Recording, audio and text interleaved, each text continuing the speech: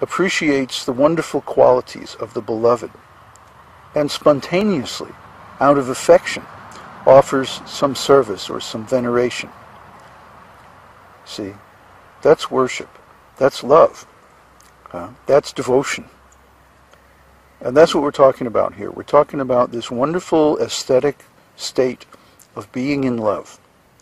And this is what we're trying to attain by cultivating the nectar of devotion. And if one is in a, a pure state of mind, in the mode of goodness, and then chants the holy name of the Lord, the Lord will reveal his glories from within. Huh? It's nice if you have a temple. Uh, it's nice if you have association of devotees. It's nice if you have Vedic scriptural knowledge and all that, but you don't need any of that if you simply chant the holy name with love.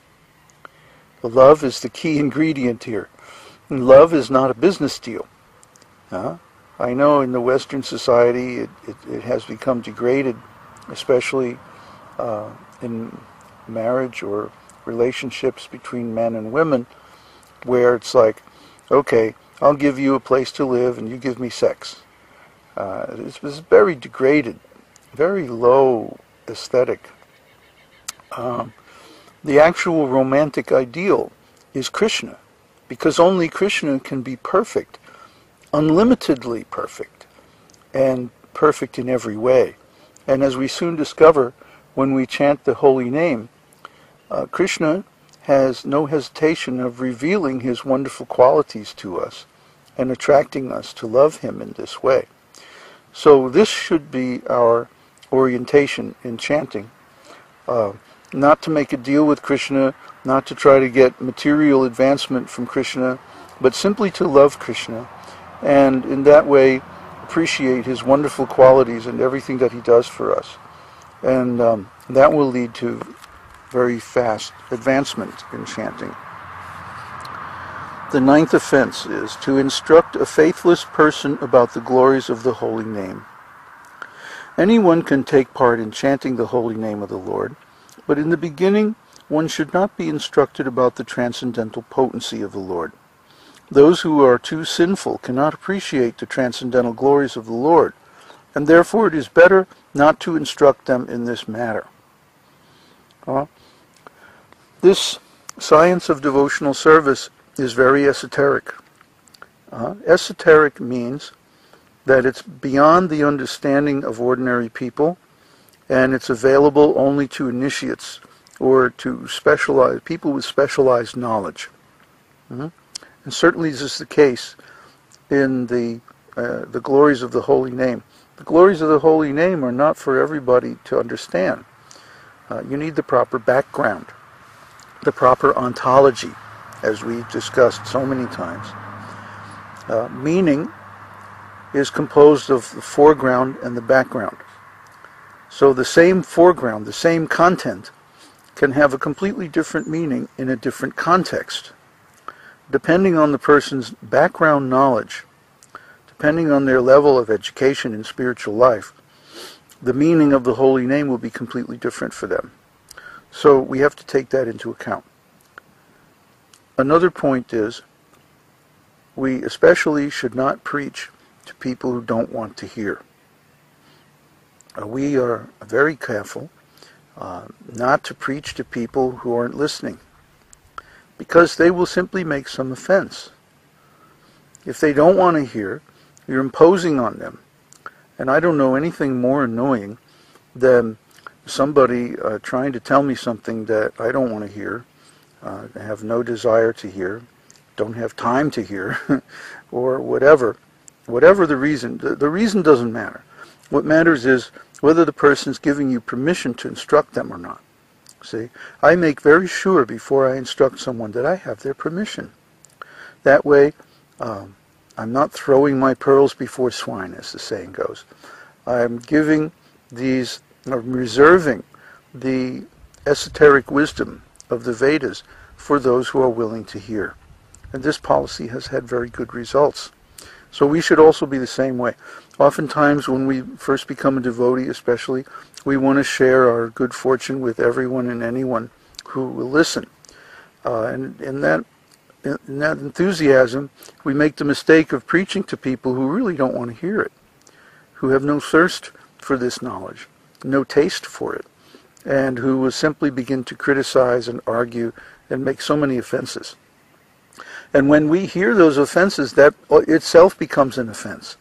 To hear blasphemy and not be able to counteract it is an offense. We'll talk about that offense later on. But um, we don't want to hear blasphemy, especially if we don't have enough knowledge to counteract it uh, with good arguments and at least uh, defeat the arguments of the other person, even if they're not convinced. At least, you know, get them to shut up. so uh, we should avoid these contentious situations by being more careful about who we present this knowledge to. And in our case, our, our website especially is very carefully constructed so that when people first come, they are given a comparatively lower level of knowledge. And then as they dig deeper into the site, they get higher and higher uh, viewpoints on transcendental knowledge until they can actually uh, join the university and take courses directly um, under the supervision of advanced devotees and like that. So uh, we only only expose the glories of the holy name and of Krishna gradually. So as they develop a taste for hearing, they can go deeper and deeper into the subject matter. Uh, this this science of preaching is very um, deep and, and it's tricky, but the fundamental is very easy to understand. Do they want to hear? Oh, yes. Okay, preach to them. If they don't want to hear, just drop it. You know, um, a little discretion in this way will go a long ways toward making your life easier, and because you avoid this offense. And finally, the tenth offense is to not have complete faith in the chanting of the holy names, and to maintain material attachments even understanding even after understanding so many instructions on this matter. Every devotee who claims to be a Vaishnava must guard against these offenses in order to quickly achieve the desired success. So, what does it mean to not have complete faith in the chanting of the holy names? Well, if we had complete faith in the chanting of the holy name, then that would be the only religious or spiritual method that we need to attain complete spiritual success. For example, Haridas Thakur. Haridas was born in a Muslim family. Uh, in the beginning, he had no association of devotees. He simply had an attraction for the holy name, and he developed that attraction into constant chanting. So Haridas was constantly chanting the holy name without offenses. In fact, this is what it takes to actually reach the stage of no offenses, because the next topic, of course, is how do I get rid of these offenses if I have them?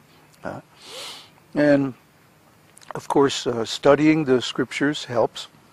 When we understand how wonderful the Vedic knowledge is, when we understand how wonderful Krishna is, uh, when we understand how wonderful the results of the holy name are, if you want to know more about the results of the holy name, then read the Phala Shruti, the um, closing section of Sri Vishnu Sahasranam. Uh, that gives you a good idea of the actual results of chanting the holy name as far as their material, the material potency.